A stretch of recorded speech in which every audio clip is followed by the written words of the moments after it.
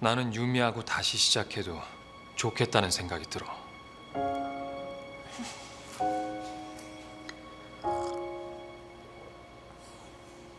나 동정에서 그런 말 하는 거라면 그만둬요. 난 단 한순간도 유미를 동정한 적 없어. 늘 화려하고 빛날 거라고 믿었기 때문에 피의자의 모습으로 내 앞에 나타난 유미가 안타깝고 마음 아프긴 했어도 동정은 아니었어. 그 아가씨 말이 맞네요. 혜준 씨 흔들어 놨어요. 그거 내 잘못이에요. 나 혜준 씨 만나는 것만으로 위로받았을 뿐인데 내 욕심 때문에 혜준 씨 인생 망칠 순 없어요. 망친다는 표현은 적당하지 않아. 나 이혼녀예요. 아이들도 있고요. 혜준 씨 인생에 아무 도움 안 될 거예요. 혜준 씨 얼마든지 좋은 여자 만날 수 있잖아요. 그 천진난만한 아가씨도 혜준 씨 좋다고 쫓아다니잖아요. 그 아이는 아무 상관없어. 왜 자꾸 아이라고 해요? 그렇게 어린애도 아니던데. 그런 식으로 억지로 혜준 씨 마음 정리하고 있나 보죠? 중요한 건 내 마음이잖아. 그래요. 그러니까 혜준 씨는 솔직해져야죠. 부담 줬단 미안해요. 그만 갈게요.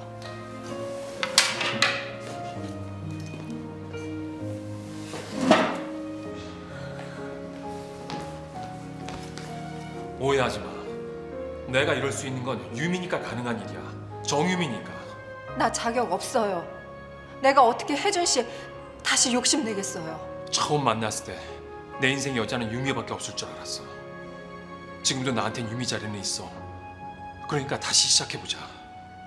그럴 수 없어요. 그래선 안 돼요.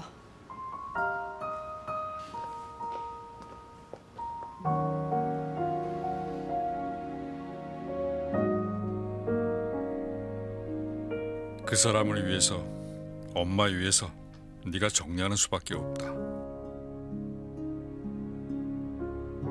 내가 저 여자를 좋아해.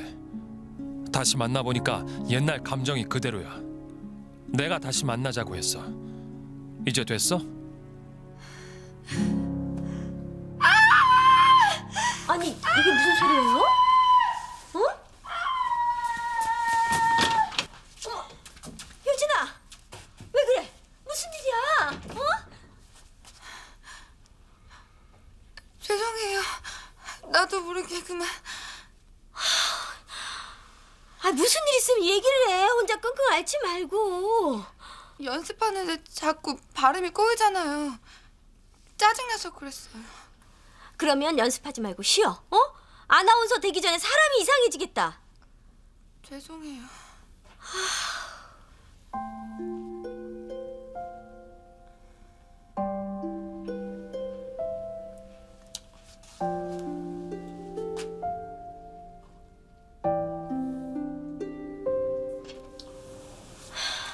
여보, 아무래도 무슨 일이 있는 것 같아요. 당신 뭐 알고 있는 거 아니에요?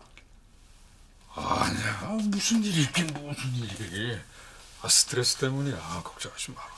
어떻게 걱정을 안 해요? 우리 효진이 심성이 밝고 건강한 아이야.